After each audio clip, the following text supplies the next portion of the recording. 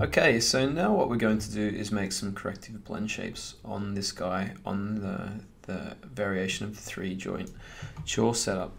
So the very first thing that we need to do is actually do what's called a range of motion and that's to actually put it in, in our animation curves. Uh, we want to actually animate these, these five joints here. Uh, these five joints and animate them out and actually extract uh, the shapes that happen for each extreme. So it's easier to show this than it is to talk about it. So if we come up here, you can see that I've just got some animation on the top lip and it's animating up to 15 degrees and then it animates back down again. And then from frame 40, we've got uh, some animation and which joint did I animate next? We got some animation on the chin joint coming up and you can see that and then it returns back down to to, uh, to zero. And then we've got it going down. So we've got a bit of a stretch happening in the jaw and coming back up again. And then now we've got the jaw top lip uh, which one is it? A rotation coming down 50 degrees. So we can see it sort of opening up. Now you'll notice with some of these these positions is that what actually happens when your jaw opens is that the, the mouth sort of sucks in a little bit and the, and the cheeks really come in. And that's because the, the face is really stretching, it's trying to maintain its volume. And a lot of this will sort of suck in, this skinny flesh out here will suck in. So what that's what we're doing with the corrective blend shapes is we're going to take these into Mudbox and sculpt them up. So you just go through all the different variations of the face. You can sort of see these are the, the main key ones that I've picked out that I'd like to just tweak a little bit.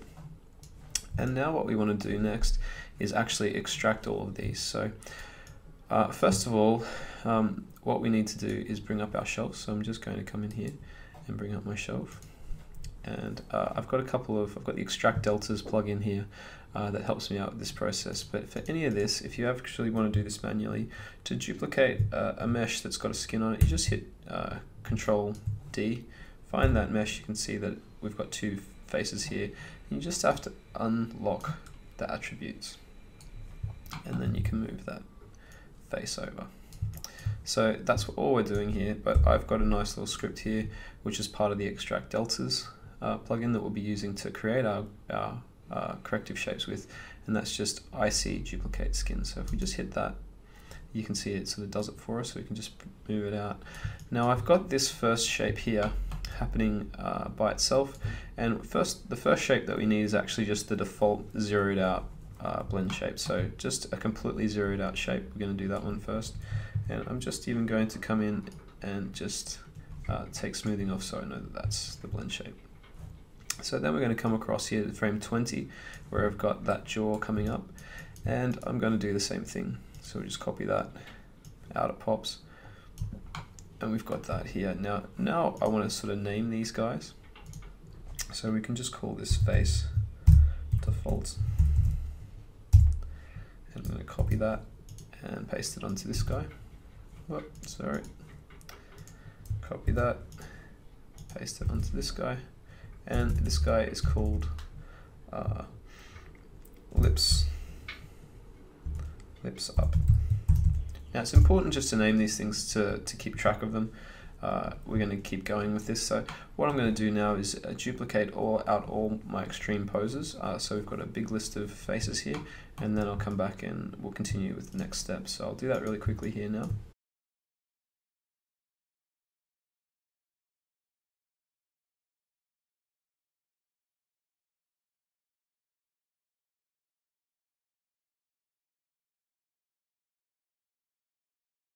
Alright, so now that we've got this, we've got uh, a big long list of uh, faces here, all with each extreme from our joints, and, and these are the correctives that we're going to go into Mudbox and quickly fix. And we don't have to, it won't take us a lot of time, so even though there's quite a lot of blend shapes here, uh, there's really not a lot happening uh, with the fixes that we have to make, so we'll see that this can be a fairly quick process. Now here's all our, our, uh, our actual uh, shapes here, so I'm just going to group all these and then unparent them Maya doesn't crash. Yes, there it goes. And uh, we've got here, these are the extreme, extreme blends. blend shapes. Okay, so now that we've got these, what we want to do is we actually want to send them off to Mudbox and uh, import them in ready for, for them to be sculpt, sculpted. So the first thing that we want to do is actually just select our first default shape and we're going to simply export that away. But before we do that, we really need to have all the faces in exactly the same position. So I'm just going to do that, grab this guy here, and I'm just going to isolate select so we can go show, isolate select, view selected. And that will bring that up. See all our faces in the same position. And now what I want to do is open this up and we're just going to send the first one to Mudbox. So this is just a matter of going down to send to Mudbox, Send as new scene.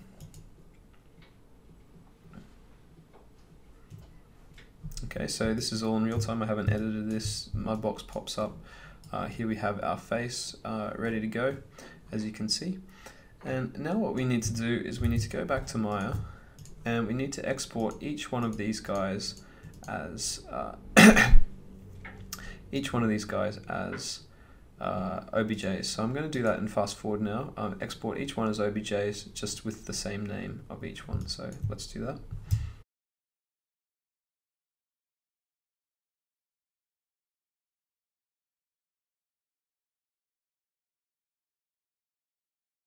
Okay, so now that we've got all those exported, we're really to go, ready to go into Mudbox and to import them in. So let's switch across to Mudbox here.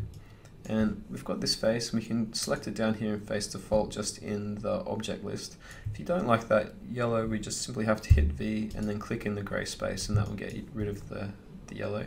Now we can go to layers and we need to be in sculpt layers. And what we can do is just add a new layer. Now instead of going new layer into our sculpt layers we can just go import layer so this is uh, a fairly important sort of a step because we can we can now import these OBJs as sculpt layers. So we just want to do this and I'll do that really quickly one by one. We can just use these uh, default settings, that work seems to work fine.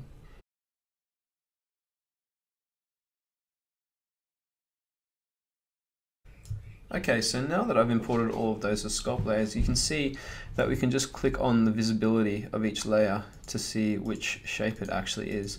And the advantage of doing this is now we can actually see what the extremes are and this comes in really handy because say that we've got the mouth opening, we really might want to actually just see what that looks like when we're testing out that face shape.